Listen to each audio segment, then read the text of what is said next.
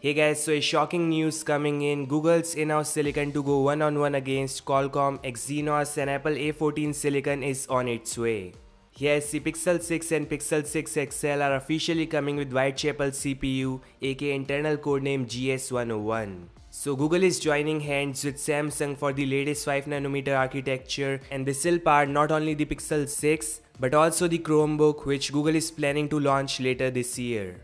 Some leaks are Whitechapel is an octa-core ARM CPU with 2 Cortex A78 plus 2 Cortex A76 plus 4 Cortex A55 cores. Yeah, this sounds good, but on the GPU side they'll use Mali GPU which is of course not as powerful as Adreno GPU. Even Samsung is switching to AMD really soon so we'll see how this goes. Yeah, even the Mali G78 is if not the best but a powerful GPU.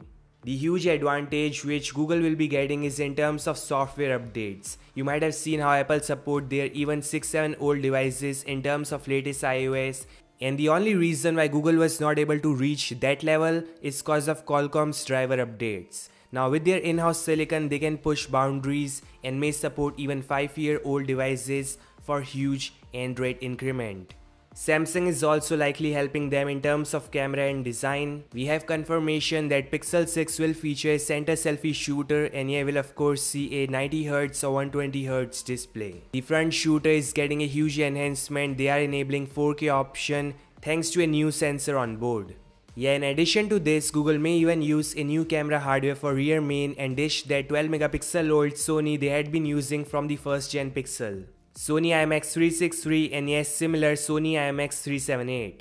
Yeah I know we all wish we see Sony IMX766 or Samsung new GM2 this paired with their Pixel visual core and software processing might do wonders.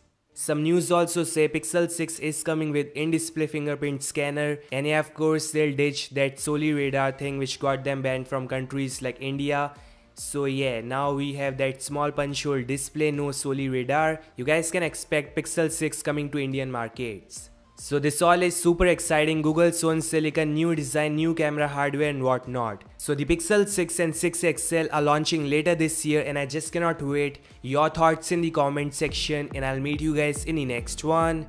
Peace out.